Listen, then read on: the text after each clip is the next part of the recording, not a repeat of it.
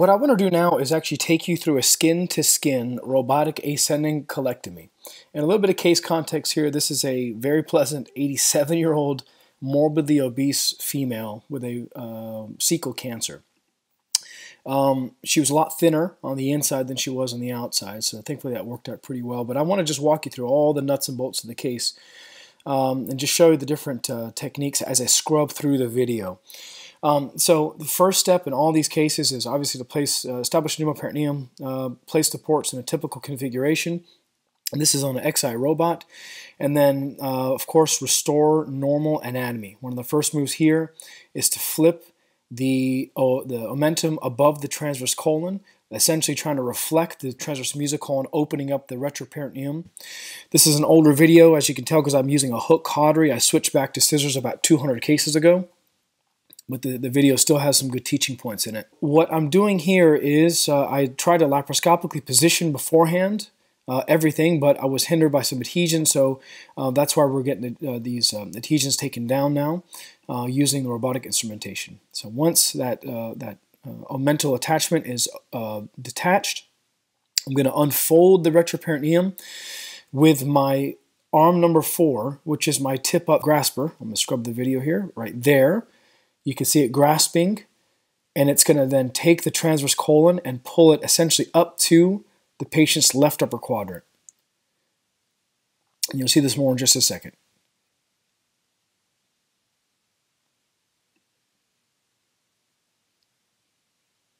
So right here, you'll see what I'm doing is my my third arm, and I use the word third arm to reference uh, the tip-up fenestrated bipolar, or fenestrated grasper rather. It's going to grasp the mesocolon of the transverse colon and pull it up to the left upper quadrant, essentially unfolding or opening the retroperitoneal up. And you can almost always see, no matter the BMI of the patient, the, the second portion of the duodenum, and then just inferior to it, you're going to see the ileocolic pedicle. And then my assist is right here holding up the, uh, the ileocolic pedicle, the fold of Treves, towards the patient's right lower quadrant. So it stretches out the ileocolic pedicle.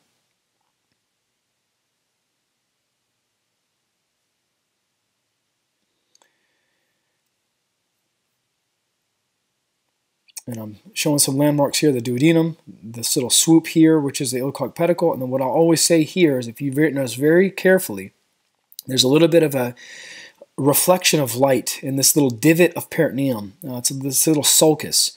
This little sulcus is exactly where I begin the medial to lateral dissection and where I make the incision to begin the medial to lateral dissection. Now the other thing here is I always start this on the cut setting of cautery, which typically helps and minimize the amount of bleeding, uh, but it also um, it makes a nice um, um, uh, makes a nice clean uh, peritoneal incision. Then in a blunt fashion, I kind of just poke in this retroperitoneal plane, looking for the duodenum, and you can kind of see it starting to come into view. Um, you should see it within one to two centimeters on the medial most portion of this dissection. So in other words, to your right, which is a patient's left, you're going to start seeing duodenum come into view here. There it is right there. And then once I see that, I then completely encircle the ileocolic pedicle and divide it. The reason I divide very early in this case is because I train fellows for a living, and I had one fellow uh, uh um, avulse the ileocolic pedicle off the SMA uh, from putting too much tension on this. So when I find it, I divide it as quickly as possible. Um, and so if that's not part of your practice, that's okay. That's just this what I like to do. So we'll basically encircle the ileocolic pedicle. This is me above the pedicle now, just creating a window. And once I've created the window, I'll come in with a vessel sealer and seal the vessel and dividing it, making sure that my duodenum stays down. Now I'm a little obsessive with how my vessel sealer is used. I typically seal four times in the same spot and then cut. Uh, it's a little obsessive and the engineers don't like it uh, with intuitive, but it's okay. It makes me sleep better at night. Now, once this ileocolic pedicle has been divided, what I'll then do is I'll take the divided ileocolic pedicle and I'll grasp it and lift it anteriorly towards the abdominal wall. So let that play through here. Lifting it anteriorly, and you can kind of get an impression here that there is the plane that I need to be in. Actually, I'm a little bit deep in this video. That's why I like to use it to show you my mistakes too. Start, start lifting this plane up and brushing that plane down.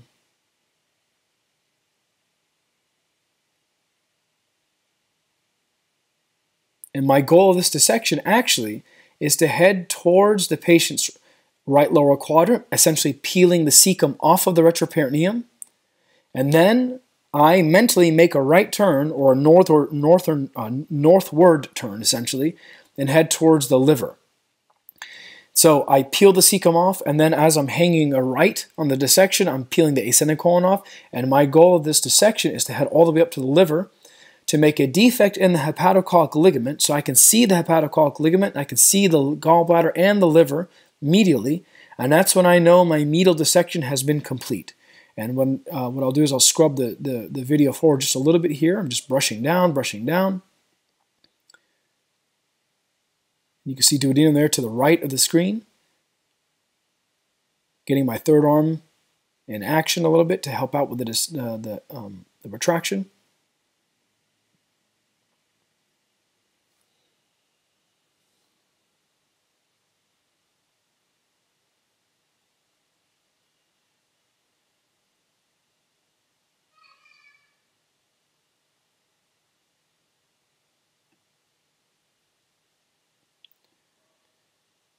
And this is still retroperitoneally. What I'm doing here is I'm lifting with my left hand, I'm pushing down to my right. Lifting with the left, pushing down with the right, until I can get, make that nice big defect in the hepatocolic ligament. Now the nice thing about the Xi robot is you can go from 30 down to 30 up with the camera. So here I just went from 30 down to 30 up, so I can get a little bit of a better view of this. I'm going to lift up the hepatic flexure essentially with my left hand, and push down to my right, and you should see the abdominal wall. There it is. And you can see the edge, the lateral edge of the liver, and I'll keep pushing down with my right hand until I know that I've distally dissected as much as I want to dissect. And actually, this is the exact same way I do a subtotal colectomy. So if I'm doing a subtotal or total, I start on the right typically, and I would just keep pushing down, pushing down, pushing down all the way to the right or the, the, towards the patient's left distally until I get to the middle colics. And I divide the middle colics. Then I keep going distally till I get the splenic flexure, get into lesser sac, and I just keep working my way to the right. And that's how that case progresses, typically in a medial lateral fashion. So once the medial dissection is done, then what I do is I change my attention to the lateral dissection. And I start from top down, hepatic flexure down to the cecum. So here my third arm then lifts up the uh, transverse, uh, the, the, lifts up the omentum off the transverse colon. She has some bizarro adhesions here, so we're going to divide those, and my assist is going to now pull the hepatic flexure down to the feet. And what that does is it allows me to expose the defect that I just created in the retroperitoneal plane. So said another way, what I'm trying to do now is I'm trying to now go anterior I'm trying to identify that big hole that I just created in the retroperitoneal dissection so that I can easily identify and know what's safe to take. So let me skip forward just here just a bit. You'll see here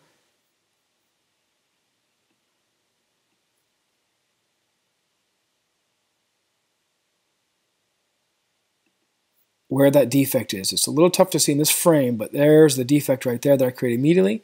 So as the, the video progresses, what I'll do is, there it is right there, I'm going to shove my vessel sealer in that spot, and I know everything to my left is safe to take, and there's nothing there. And what I'll do here is I typically actually do this with scissors uh, nowadays, but I'm, I'm, here, I'm just sealing it with the vessel here since there was a, some omentum stuck. And I'll get, I'll script forward here a little bit more, get the, the hook cautery in this, in this video, and just unzip immediately medial to the white line of Toldt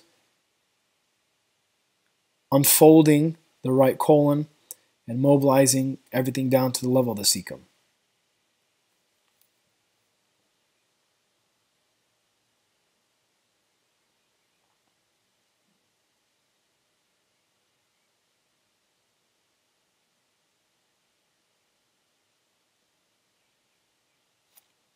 It's not uncommon to where I don't use my assist very much in these operations. I still always have an assist port I, as a um, program director of a fellowship. I train fellows for a living, and so I always like to have an assist port there. Number one, for suture exchange, but really so that way the fellows can stay involved if they're at bedside, or even more importantly, in my mind, is if I'm at the bedside, I can still maintain uh, a device to point and teach. And also to maintain some control of the operation. But in your practices, you may not need that assist port, but I, I certainly do uh, use it, and I'm very uh, um, um, uh, I do very I very much encourage using it if um, if you if you so wish. So here I'm just going to continue the mobilization of the right colon. I'm going to skip forward just a little bit more here, and eventually can, uh, we'll complete the right colonic mobilization.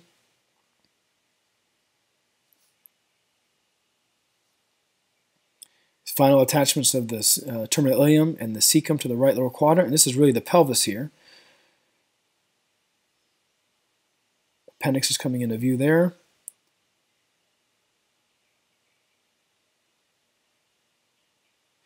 And some may ask, what's my third arm doing right now? It's off, it's off camera right now, but basically what the third arm is doing is it's grabbing the hepatic flexure and pulling it towards the patient's left upper quadrant.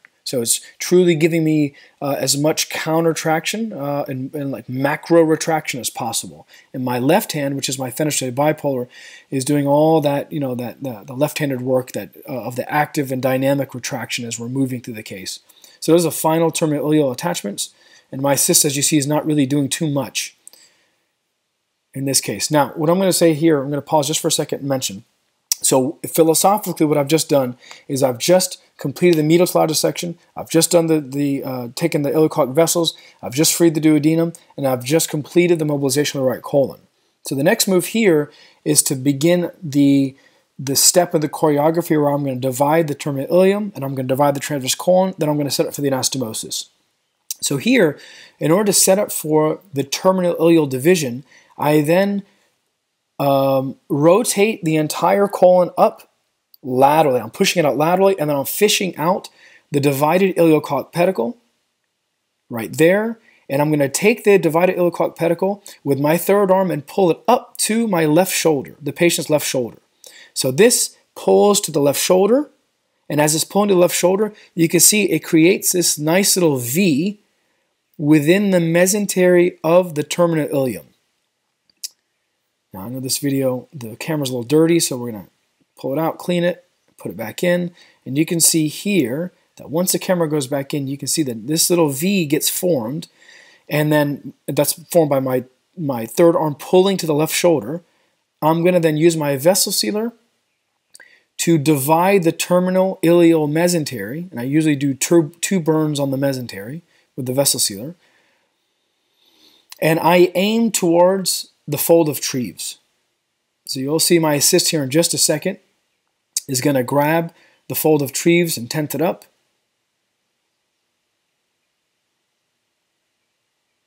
You can see how it really lines up the mesentery just right.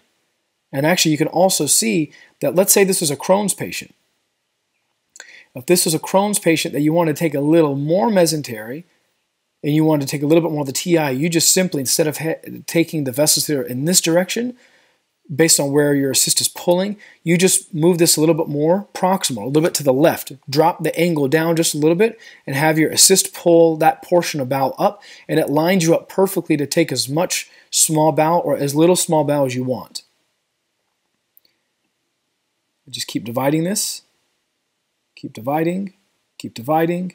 What I'll do then is essentially keep dividing until I've skeletonized it down to the mesenteric border of the terminal ileum and I will firefly, and then I will bring the stapler in and divide.